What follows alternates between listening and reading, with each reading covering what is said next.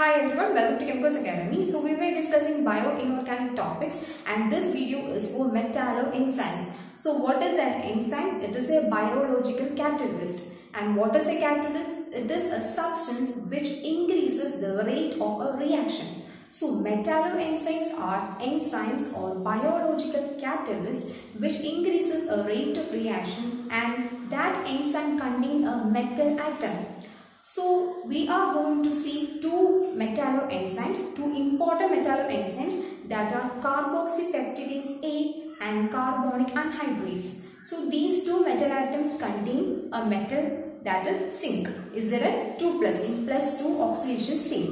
So zinc is the metal atom in carboxypeptidase A and carbonic anhydrase. Now we will move on to carboxypeptidase A first. So what is carboxypeptidase A? A zinc metal enzyme, metalloenzyme. And the function of carboxypeptidase A is used for hydrolysis of protein chain. So hydrolysis of protein chain is the main function of carboxypeptidase A. And mainly the C terminal will be hydrolyzed. And we will see what is C terminal and N terminal. And another point is molecular weight of carboxypeptidase A is 34,600. 34,600 is the molecular weight of carboxypeptidase A and it is used for hydrolysis of protein chain C terminal chain. An active site structure of carboxypeptidase A contain two histidine groups, oxygen from glutamate and Zinc is tetrahedrally coordinated to three amino acids and one position is vacant. So this is the structure of active structure of carboxypeptidase A. Here the zinc is the metal atom and it is coordinated to two histidine groups and oxygen of glutamate. This is glutamate CH2 CH2 COO minus. So this is the glutamate structure and it is the oxygen of glutamate is coordinated to zinc and this is the protein portion and this protein portion contains 307 amino acids.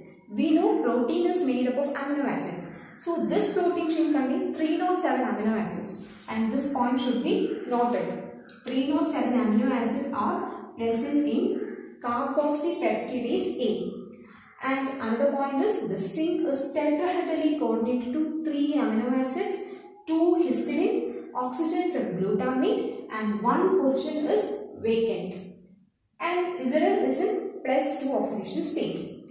And zinc is electrophilic in nature and the protein chain is nucleophilic in nature. So this will uh, form a reaction center. So zinc is electrophilic in nature and protein chain is nucleophilic in nature. And the reaction is between Zn2 plus and carbonyl oxygen. And another point is this structure is uh, egg-like structure. Egg-like structure. The structure of carboxypeptidase is egg-like structure. Uh, this will form like this. This looks like a egg. So carboxypeptidase A is used to for hydrolysis of proteins. Molecular weight is 34,600 and the coordination sites are satisfied by two histidine groups, three amino acids, one position is vacant and oxygen from glutamate. And the protein portion contains 307 amino acids and it looks like an egg-like structure. And now we will see the C terminal chain and N terminal chain of protein and the main function of carboxypeptidase A. So the function of carboxypeptidase A is hydrolysis of protein chain that is C terminal chain. And this is a uh, general structure of a protein chain and here we can see amino acids, three amino acids that is NH2. The general formula of amino acid is NH2 CHR COOH. A carboxylic group is present also amino group NH2 and COOH is present in an amino acid that we know. So this is a protein chain which contain NH2 CHR COOH is an amino acid uh, and when this is connected we will get like this. So from here this is one amino acid and this is another and this is third one. So one, two, three. Here three amino acids are uh, combined to get a protein chain. uh, this is for taking as an example. So now we when we add carboxypeptidase A, what happens? The C terminal will be hydrolyzed. And what is C terminal? In an amino acid or protein chain, the COOH, the carbon, the carboxylic acid group containing end will be C terminal. This is C terminal. And this is N terminal, N. N terminal. So, amino group containing side is N terminal and carboxylic group containing uh, side is uh, C terminal. So, we know carboxypeptidase A will hydrolyze the C terminal chain. So, this is not the, this is end. So, we will hydrolyze from this position. So, adding OH and H. That is hydrolysis. Hydrolysis of C terminal. So, what will be the product? NH2 NH2 CHR and CO NH CHR then COOH COOH and the rest compound will be NH2 CHR COOH CHR COOH so this will be the product the C terminal is hydrolyzed using carboxypeptidase A and that is shown here. This is another example. This is a protein chain uh, which contains uh, 3 not 7 amino acids. So proline, leucine, glutamic and phenylalanine. So when we add carboxypeptidase A, what happens? The C terminal will be hydrolyzed. That, then we get proline, leucine, glutamic. From here the hydrolysis takes place. So phenylalanine is separately uh, performed. So the function of carboxypeptidase A is it cleaves C-terminal amino acid of protein. It cleaves C-terminal amino acid of proteins. That's the main function of carboxypeptidase A. And the metal atom is zinc metal. Now we will see carbonic anhydrase. So now let's move on to carbonic anhydrase. And I already said carbonic anhydrase also contains zinc as a metal atom. And it is a metalloenzyme. So the function of carbonic anhydrase is to convert carbon dioxide to carbonate ion. So CO2 to HCO3 minus that is carbonate ion. So conversion of carbon dioxide to carbonate ion is the uh, use, use of carbonic anhydrase. And the active site structure of carbonic anhydrase contain zinc as a metal atom and three histidine groups and one OH or uh, hydroxide ion. So the zinc is the metal atom and it is in plus 2 oxidation state.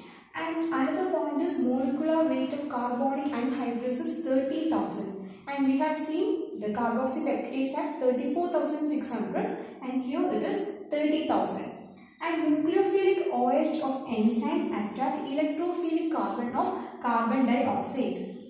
So nucleophilic OH of enzyme will attack the carbon of carbon dioxide. That is the reaction centers of carbonic anhydrase. And bonding power of zinc towards halide ion is first iodine, then bromine, chlorine, chloride and fluoride. Iodide, bromine and chloride and fluoride. And the free zinc 2 plus uh, binding is reverse in order. So this zinc will connect or bond to halide uh, more in iodine, then bromine, then chlorine and fluorine.